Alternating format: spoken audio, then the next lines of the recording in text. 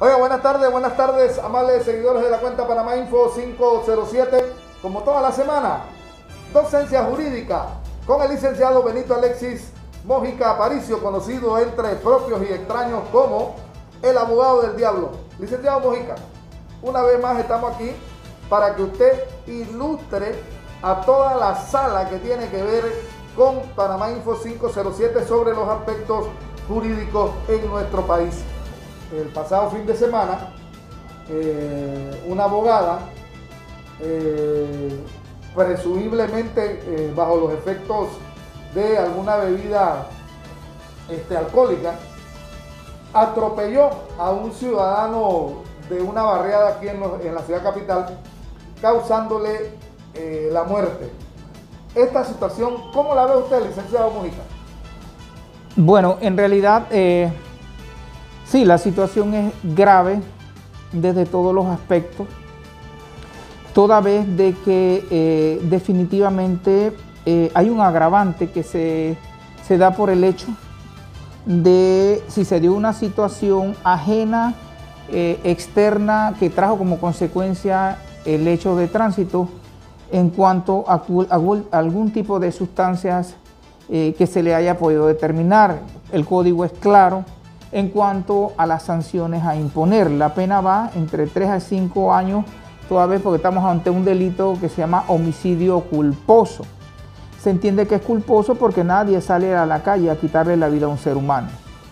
Esto permite que el juez haga un ocultamiento macroscópico de la gravedad del hecho y aplique una medida cautelar consona, eh, real, material y fundamental. El juez funciona mediante la lógica, la certeza y la verdad. Entendemos por lógica la intuición de algo.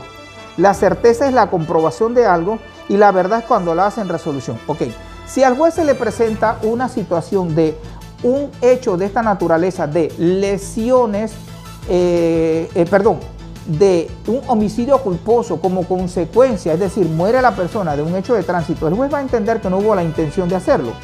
Sin embargo, si dentro de ese comportamiento concominante que mantuvo la persona para el cual está involucrada en este hecho, eh, presenta ah, eh, situaciones em, que agravan su conducta, ya sea porque se intentó darla a la fuga y hay un informe que acredita el mismo, ya sea porque hay sustancias etílicas, es decir, bebidas alcohólicas, ya sea porque hay sustancias alucinógenas, droga de por medio, que se ha acreditado dentro de la carpetilla como consecuencia de esta investigación, el juez, a sabienda que la pena es de 3 a 5 años y que aumenta con el mismo artículo 133 del Código Penal por el hecho de esa situación que la agrava, que es dos tercios de la pena, aplicar la detención preventiva. Recuerde que estamos ante, un, ante la muerte de una persona como consecuencia de un hecho que si fue bien es cierto, no fue intencional, pero de igual se perdió un ser humano y la norma es clara de que es una situación grave.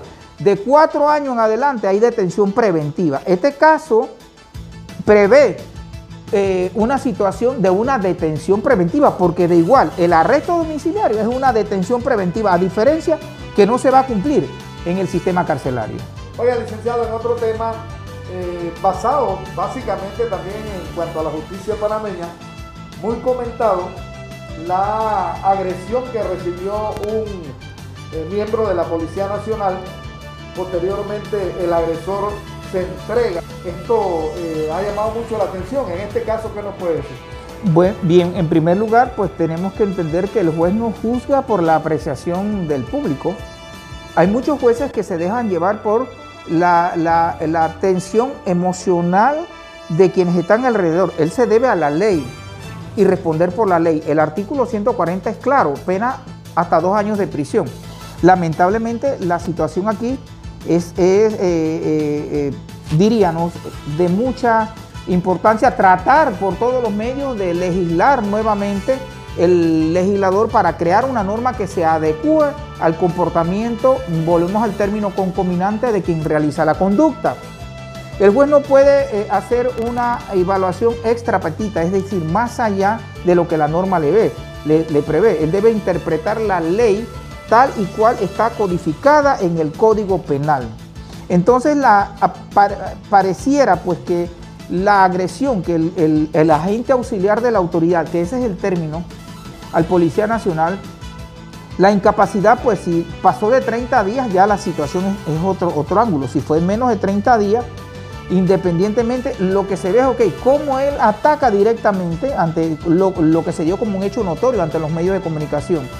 El ensañamiento y todo aquello, sí es cierto, pero es que el juez tampoco puede más que aplicar una medida tal y cual establece la ley. Si, si es dos años de cárcel, la pena máxima, si el juez determinó que no hay peligro de fuga, de desatención al proceso, atentar contra la víctima o atentar contra la sociedad, lógicamente que le está fijando una medida cautelar de notificación, pero ojo y oído y docencia. Una medida cautelar es la sujeción del imputado para que comparezca al tribunal. ¿Eso qué significa? Que al aplicarle una medida cautelar ya lo está sujetando al proceso y de antemano le está diciendo, señor, usted no puede eh, eludirle su responsabilidad y usted tiene que comparecer en el momento que yo lo llamo, de lo contrario, entonces hay otra situación que le va a perjudicar a él.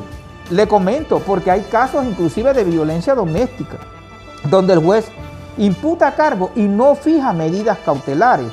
Entonces, la fijación de una medida cautelar para que la ciudadanía, pueda asimilar es, repito, la sujeción de la persona, es el nexo causal, es el cordón por el cual el juez le está diciendo, señor, usted tiene que venir al proceso porque usted está notificándose. El incumplimiento de esa notificación acarrea levantarle la medida cautelar. ¿Por qué no? Entonces, eh, el juez actuó según la ley y lo que aparentemente para la ciudadanía en estos momentos eh, eh, no es comprensible, se entiende porque la ciudadanía, pues, la interpretación de la norma, pues no alcanzan ellos a, a comprenderla por la situación de que estamos hablando de un delito cuya pena tiene dos años como máximo. Entonces el juez no puede ordenar una detención preventiva inmediatamente si no se están los agravantes, diferente a la, a la conducta anterior que hice referencia, que sí habían agravantes para proceder a una detención eh, provisional. Pero el juez también tiene la independencia judicial que establece el Código eh, Procesal Penal de él tener ese libro albedrío, de interpretar según su criterio y el que no está de acuerdo simplemente anuncia una apelación a esa decisión ante el Tribunal Superior de Apelaciones. Esta decisión del juez licenciado no tiene que, tener eh, al tomar la decisión no hubo ningún tipo de influencia en cuanto el antecedente que pudiera tener este señor que también eh, se ha hecho público. Muy atinada su pregunta, no tiene nada que ver. Porque si aquí se empieza a tomar en cuenta los antecedentes, no estaríamos ante una justicia eh, equitativa. Los antecedentes son, unos, son historiales que él tuvo y no se puede juzgar por el pasado, se tiene que juzgar por el presente. Entonces esos antecedentes le pudiesen perjudicar a él en un momento dado, en una condena que él tenga a imponer y que se quisiese eh, eh, pedir dosificación de la pena. Pero para estos menesteres no guarda relación el comportamiento del anterior. Ahora, que él dejó una mala imagen ante la sociedad, que él se mostró como una persona tal y cual es en sus acciones, que se da cuenta que esto no era lo que él tenía que hacer, porque es una actitud propia de quien no tiene razón. Es una actitud propia de quien ejerce la violencia para tomarse la justicia por sí mismo. No sé. Lo cierto que esa es una sanción moral que él va a recibir, pero eso no tiene repercusión. Y tampoco se manda un mensaje para que se vaya a agredir a los miembros de la Policía Nacional, que en todo momento estaban protegiendo la vida. A él se le pidió su licencia a conducir o su cédula el agredir a un miembro de, servidor público que lo requiere y que lo protege a él. Yo voy a, voy a agredir a quien me está protegiendo. Eso deja mucho que decir y que pensar sobre este comportamiento que no es normal, es un comportamiento estilo cromañón y nosotros hemos superado esa etapa primitiva, para lo cual eh, aquello no es lo que se está ventilando. Sin embargo, queda la imagen de él por lo que hizo. Y esa es una sanción plenamente moral que él tendrá con su conciencia.